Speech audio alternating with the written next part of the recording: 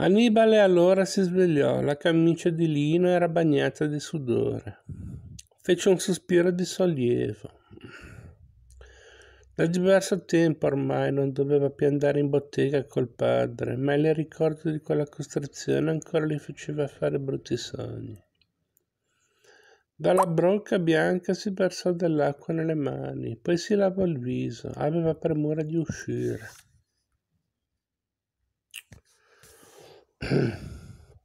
Girò la testa, ma nello specchio incrociò il suo sguardo.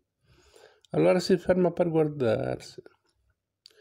Gli occhi erano, erano, quelli di sempre, ma li sentiva bruciare di desiderio, come i crampi della fame.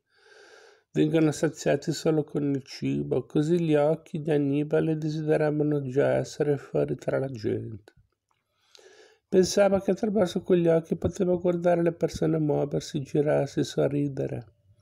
Poteva vedere le linee dritte e costruite della città e quelle morbide, irregolari, imprevedibili della natura degli uomini e degli animali.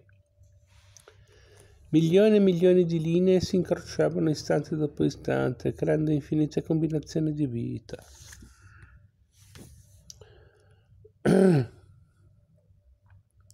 E lui si sentiva fortunato ancora più di adesso.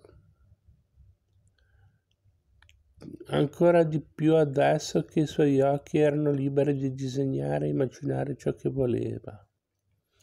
Aveva studiato e ascoltato a lungo gli insegnamenti dei suoi maestri e di Ludovico e si applicava costantemente nell'esercizio di disegno, ma le giornate che dedicava a copiare dal vivo erano quelle che gli davano una felicità piena e particolare e stavano diventando per lui molto importanti.